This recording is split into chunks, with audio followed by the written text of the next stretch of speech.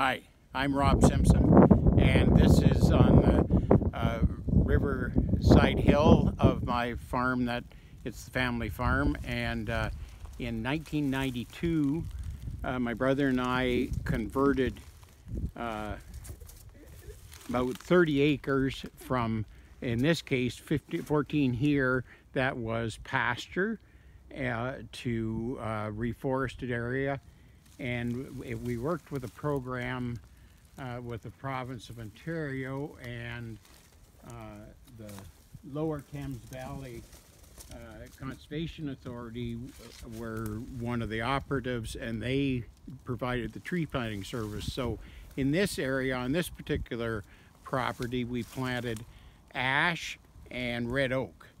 Now, since the Emerald Ash Borer came through, the ash has taken a beating, but the and the red oak suffered badly from the high deer population that damaged the young saplings. But in, today, 30 years later, uh, it, it's looking like a, a lovely forest, and um, it the the ground is remains exactly as I remember it uh, back in the actually years before because we seeded through the sod of the pasture, didn't disturb the sod, and then we sprayed the rows of trees two years subsequent from planting, then the trees were able to get the start. And so we've been very, very satisfied.